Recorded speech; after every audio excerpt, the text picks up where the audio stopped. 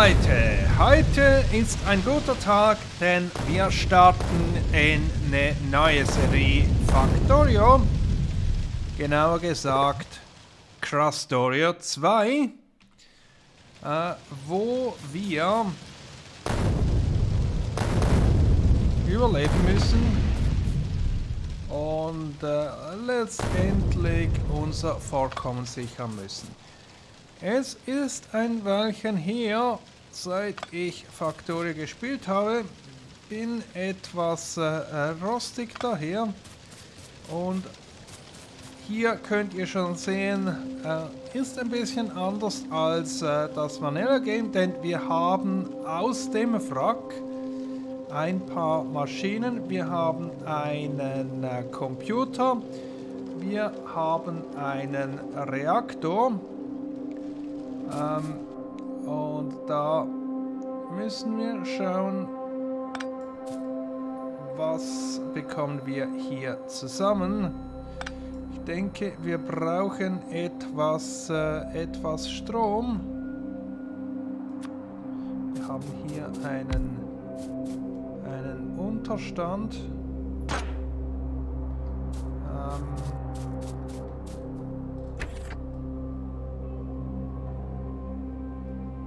Wir etwas äh, äh, reinbringen können. Äh, was können wir denn craften? Eine Windturbine, da fehlt uns aber etwas an Material. Vielleicht finden wir das hier in äh, dem äh, Schrott von unserem abgestürzten Raumschiff. Denn ich glaube, das erste, was wir hier äh, vorwärts bringen müssen, ist ein bisschen Forschung. Für ein bisschen Forschung brauchen wir ähm, etwas äh, Strom.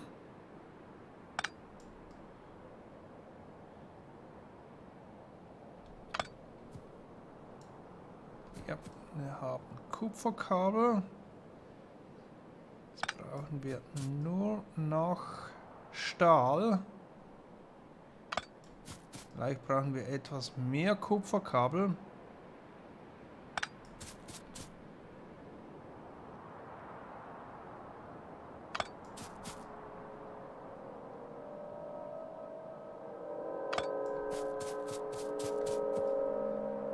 Irgendwo, denke ich, liegt auch Stahl rum.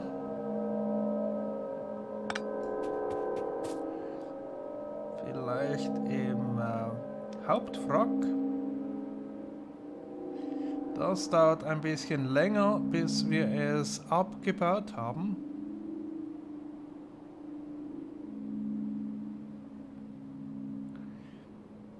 Und da Oben rechts haben wir ein paar äh, Minenfelder. Erzfelder, nicht Minenfelder. Und äh, unten links etwas Wasser. Und zumindest für den Moment sollten wir vor Aliens sicher sein.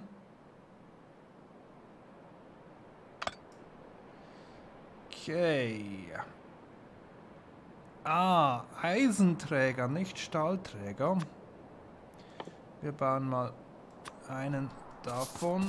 Dann brauche ich wahrscheinlich Holz für ein paar mehr Strommassen.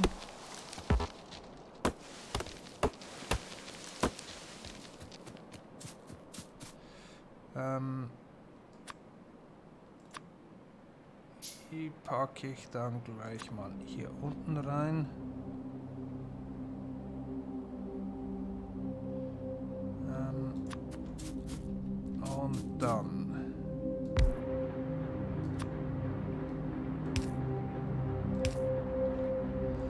Sehr schön. Ähm, Basistechnologiekarte.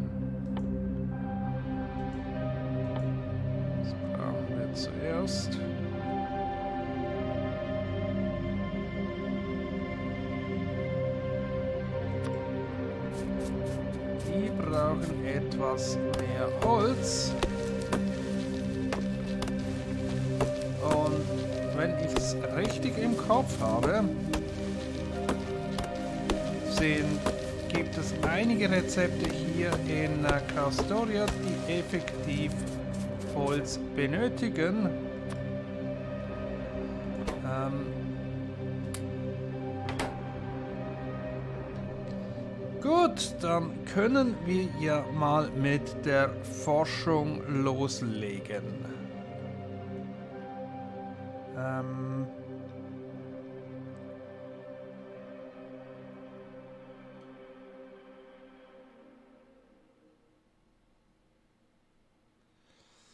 Wir haben, ja, machen wir erstmal da weiter und ich habe die, äh, die Warteschlange-Funktion freigeschalten, ähm, so dass wir das aneinander reihen können. Ähm, und nicht unbedingt alles. Hm. Das wäre wahrscheinlich gut.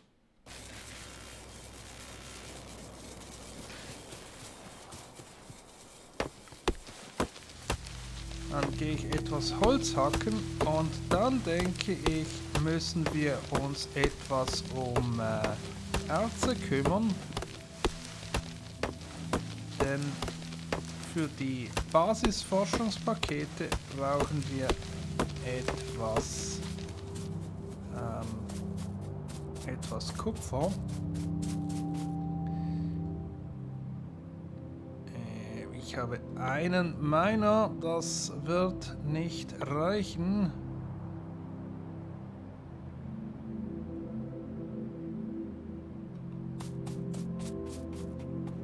Kann mir einen weiteren bauen.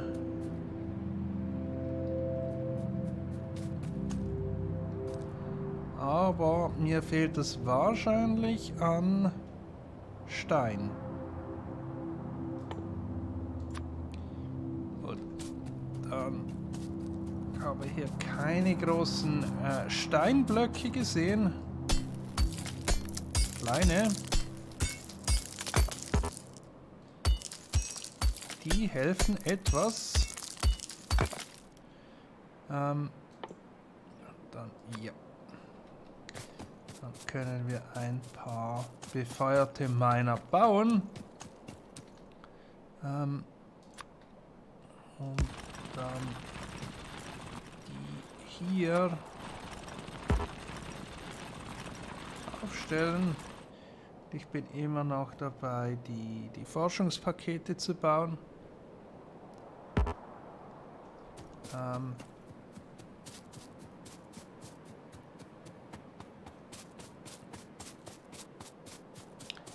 Und unsere Laufgeschwindigkeit ist auch nicht äh, allzu hoch.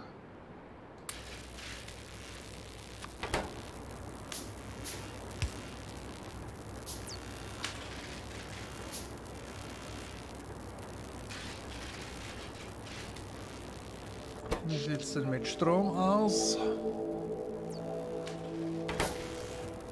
Die eine Windturbine kann das ganz gut versorgen bisher.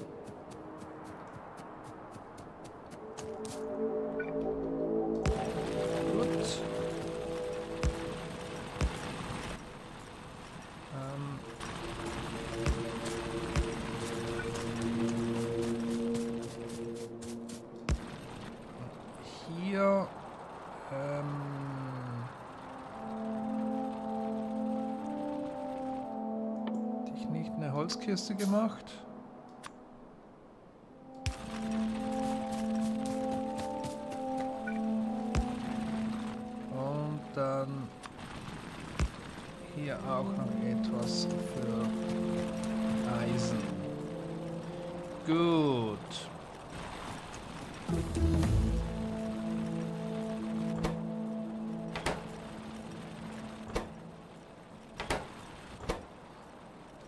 Ah, hier muss ich einstellen.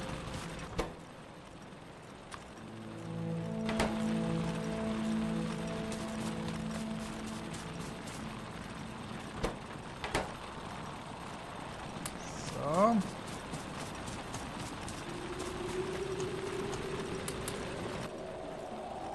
Und dann wollen wir vielleicht ein paar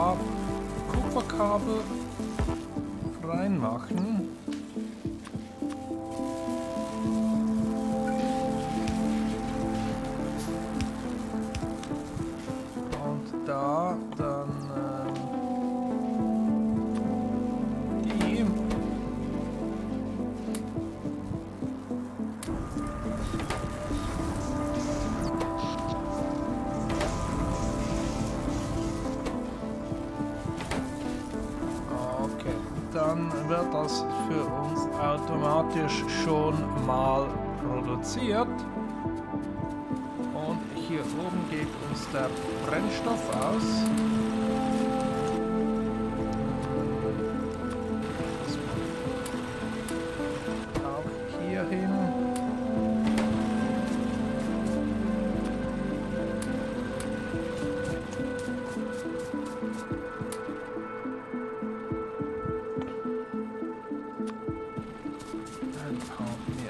Öfen, das kann nicht schaden.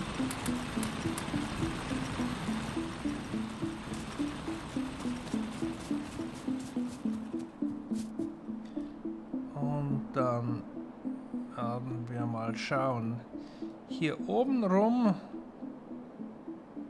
ziemlich viel Klippen. Das heißt, äh, ich denke, unseren Bus machen wir da mal auf die linke Seite und hoffentlich, bis wir da auf Klippen stoßen, haben wir Klippensprengstoff. Gut. Soweit, so gut.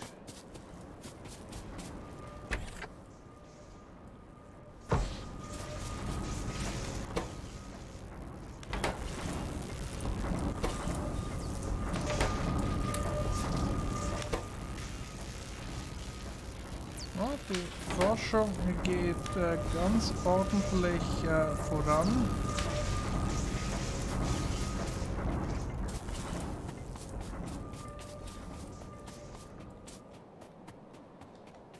Ich denke, hier in dieser ersten Folge werden wir noch nicht wirklich was Großes äh, reißen.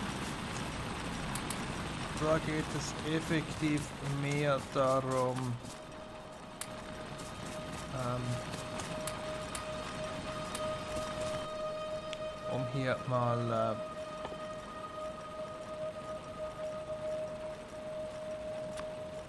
das, äh, das erste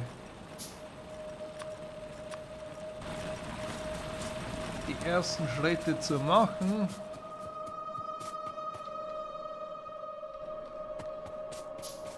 Und es sind noch ein paar Schritte, die es braucht, bis wir da richtig äh, gehen können.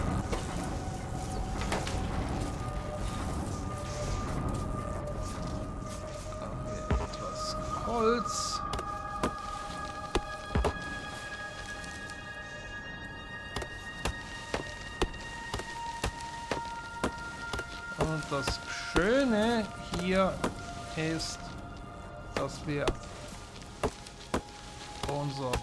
Zentrum von unserer Basis etwas in Grün haben. Das heißt, das schluckt etwas mehr Verschmutzung, was uns bei den äh, Aliens hilft.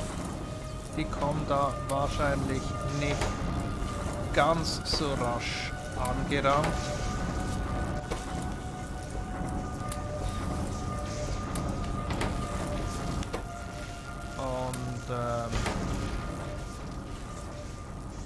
Ganze ist eine Schienenwelt, was bedeutet, die Erzfelder sind etwas weiter auseinander, dafür etwas äh, ergiebiger. Und der zweite Pluspunkt, äh, wenn ich mich äh, richtig erinnere, ist, dass wir dann hier, ähm, wenn wir irgendwo ähm, Radare aufstellen, dass in dem Gebiet, der mit Radaren abgedeckt ist, äh, keine neuen Alien-Nester mehr spawnen. Das heißt, wir können uns theoretisch äh, schenken, äh, außenrum eine ne Mauer zu ziehen, äh, solange wir sicherstellen, dass wir mehr Gebiet abdecken mit Radar als unsere Verschmutzung. Und das sollte zumindest für den, für den Anfang äh, ausreichen, ähm, bis wir da dann wirklich äh, in die so weit kommen, dass wir äh, das nicht mehr äh, mit äh, vernünftigen Auswand machen können. Aber ich denke, zu dem Zeitpunkt sollten wir dann auch schon äh, gut unterwegs sein, äh, um uns verteidigen zu können.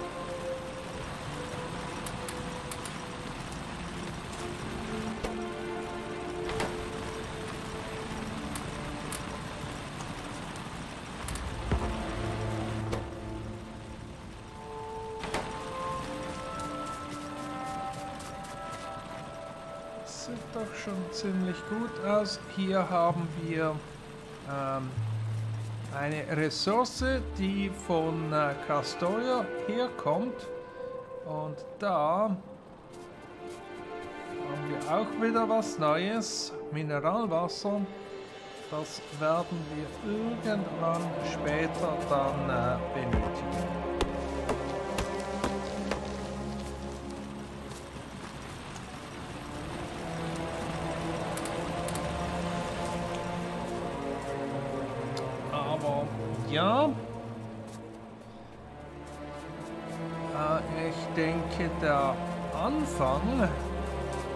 Sobald wir da mit, äh, mit, dem, äh, mit der Forschung für äh, Dampfmaschinen durch sind, dann können wir auch ordentlich was mit äh, Strom machen.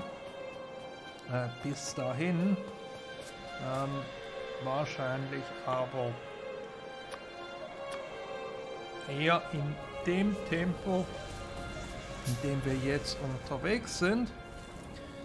Und typischerweise äh, am Anfang von jedem Bus, den ich baue, steht irgendwo äh, ein, ein äh, Ofenarray. Und ja, wir können sogar schon, äh, schon Förderbänder machen. Einfach zum mal schauen, wie das so aussehen soll. das ist eins, muss ein bisschen länger werden und ich denke, wir brauchen vier für Eisen, vier für Kupfer, äh, zwei für Stahl, zwei, eins für Stein und dann haben wir, äh, glaube ich, aus Stein machen wir auch noch äh, äh Sand. Äh, das kommt dann quasi auf die auf die, auf die gleiche Ebene. Ja, das ist in etwa das, was wir hier brauchen. Ähm und wenn ich hier immer zwei dazwischen laufe, dann sind das 1, 2, 3, 4. fünf, sechs,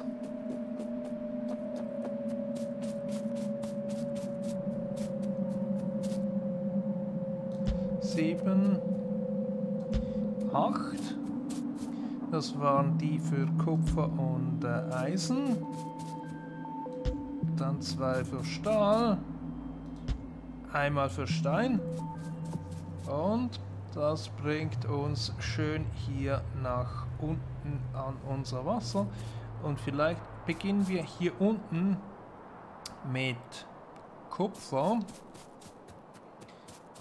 Dann äh, Eisen, Stahl und zu oberst dann Stein. Und so wie es aussieht, ist uns hier das Holz im Weg. Denn da haben wir Klippen, also das heißt, unser Array kann nicht allzu sehr nach, äh, nach äh, links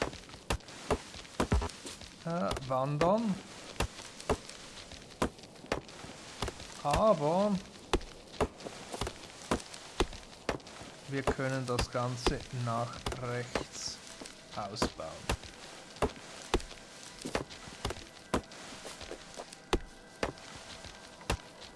Gut, ich denke, das war's für die erste Folge. Bis nächstes Mal werde ich hier etwas ausholzen, ähm, die Forschung etwas weitermachen, sofern wir das schon eingestellt haben und hoffentlich auch ein paar äh, Ressourcen sammeln, so dass wir dann nächstes Mal äh, da mit, dem, äh, mit der äh, Schmelze beginnen können. Also, wenn ihr Spaß an Factorio habt, dann solltet ihr unbedingt äh, subscriben, falls ihr das noch nicht seid. Hinterlasst mir doch bitte einen Like, äh, wenn ihr es bis hierhin durchgehalten habt. Und dann sehe ich euch in der nächsten Folge wieder. Also bis dann und tschüss.